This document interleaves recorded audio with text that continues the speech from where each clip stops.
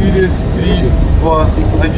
Свежий воздух и полноценные тренировки. То, что раньше было ежедневной рутиной, теперь долгожданное событие. Доигровщица волейбольного клуба «Заречье» Оксана Якушина признается, период самоизоляции был непростым. Эта самоизоляция, конечно, тяжело далась, энергии было много. Вот, хоть домашние тренировки нам и присылали почти каждый день, но их не хватало. Уже соскучились и по обстановке командной, и по мячу. По словам спортсменки, за время самоизоляции она похудела, но ушел не лишний вес, а мышечная масса. Хотя Оксана тренировалась каждый день по часу-полтора, правда, в формате онлайн. Упражнения были разные, но без перемещений, которые так важны для волейболисток.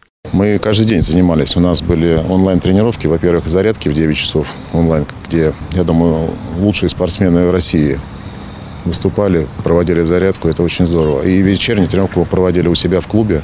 А наши тренеры тоже онлайн проводили э, уже силовую подготовку. Теперь Зареченкам предстоит наверстать упущенное. Вторую неделю девушки занимаются на свежем воздухе.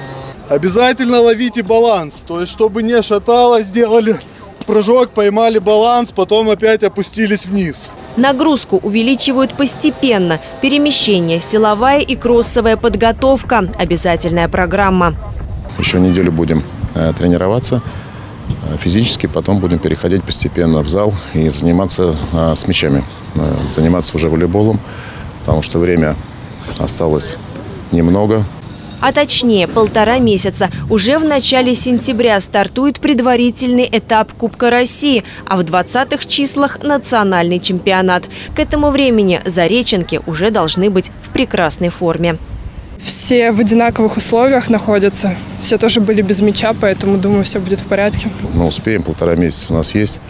Мы планируем сбор а, выездной, если получится, где еще добавим нагрузки. Поэтому я думаю, что будет все в порядке. Евгения Августина, Денис Харламов, телекомпания «Одинцова».